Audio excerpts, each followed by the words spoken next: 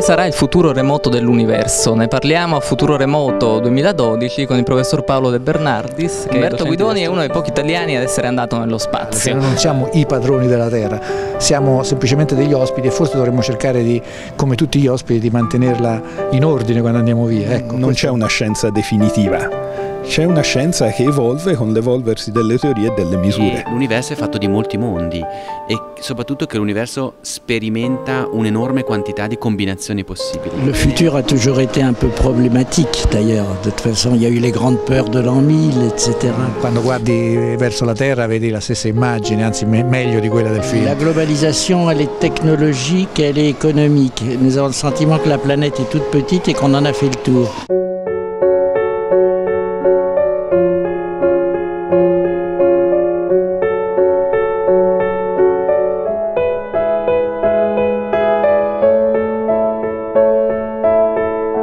Lei questo è un incendio doloso? Ad occhio, un po' per l'esperienza, mi sembra doloso francamente, per il tipo di rapidità, il luogo vicino alla spiaggia, non bisogna piegarsi e bisogna ripartire subito. Come un atto nei confronti della città, perché Città della Scienza appunto era un luogo eh, molto sentito dalla città, molto amato dalla città. Va ricostruita, noi lo, lo, lo supplichiamo, per non abbassare la testa per i bambini è importante, è uno spazio che noi viviamo spesso. Napoli dimostra sempre il suo grande cuore. Era un polo di eccellenza e sentiamo che dobbiamo tutelarlo anche noi ragazzi che veniamo dalla provincia. Commosso dalle, anche dalle parole dei ragazzi, dei bambini, c'è una voglia proprio di ricostruire e di ripartire straordinaria.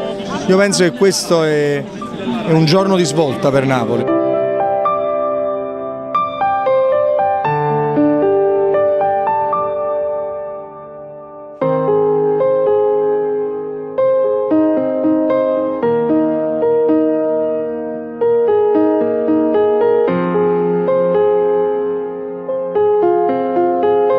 Museo, il Science Center ha un significato proprio in quel luogo, vicino al mare, come ricordo di quello che c'è stato per 150 anni in questa zona. Spostarlo da un'altra parte vorrebbe dire cambiare la storia, snaturare il significato di questo museo scientifico, di questa fabbrica che è diventata un posto dove fare scienza e cultura nel quotidiano. Farla altrove vorrebbe dire in primo luogo darla vinta a chi ha.